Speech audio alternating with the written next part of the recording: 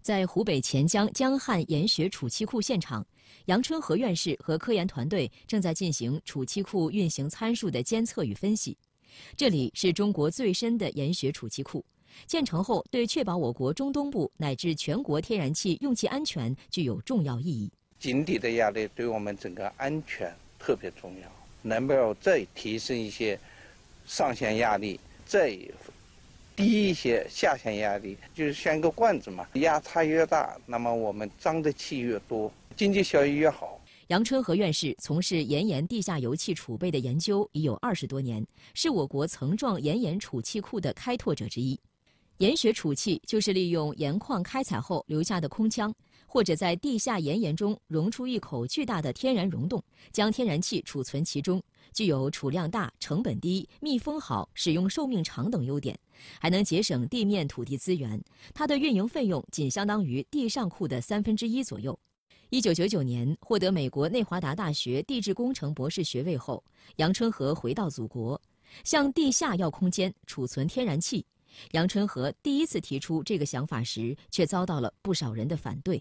国外早就有了，我们国家从二零零一年才开始做研究。国外做的厚的有将近两千米厚，就是纯白的。但是我们国家是浮相沉积的层状结构，有很多夹层呐，品位又低呀。实际当时我们开始做这个工程，反正实际上还是挺大的，大家担心会漏。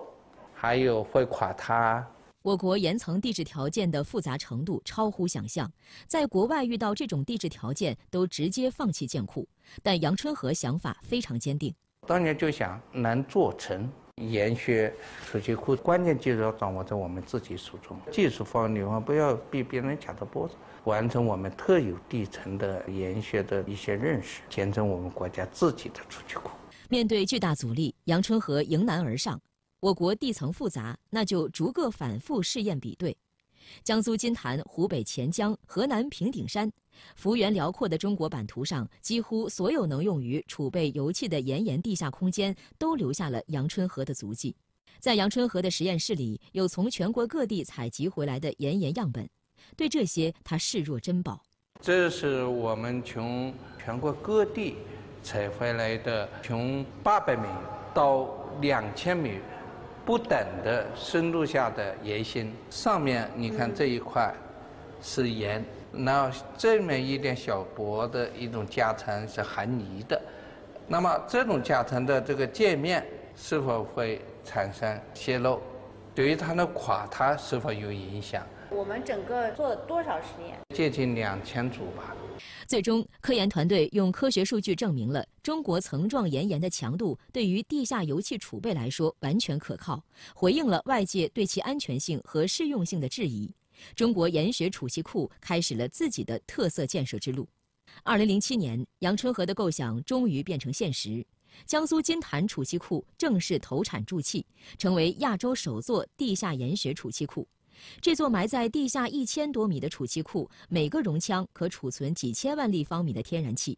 利用金坛盐矿开采后留下的容腔建库，节约建设成本达一点二五亿元，增加了我们国家在天然气供应下的应急保安能力。你像触发天气下的调峰，第二，如果上游供应中断，可以用储气库进行保安。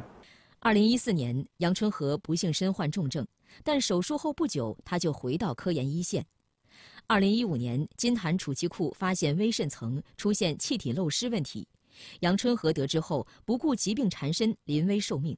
他提出一种全新技术，利用岩盐重结晶对储气库进行封堵，并迅速开展金坛储气库关键微渗层的重结晶课题研究，微渗层封堵难题被成功解决。我个人认为，科学家的一个使命嘛，解决问题的过程也是一种担当。做科研或做人有相似之处，要执着。即便是现在年龄比较大，也做过手术之后，但是他的精力依然还是非常非常的充沛。杨老师都是第一个来到办公室，永远都是最早的。国之所需，心之所向，不仅要让研学储气库在中国落地生根，还要开花结果。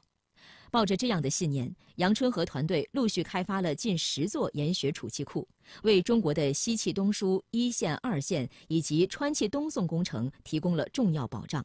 储蓄库从零到一已经完了，嗯，我们现在要对下面的地产进行分类，哪些适合做哪些储备？我们这个地产未来可以除油、除氢、除氦。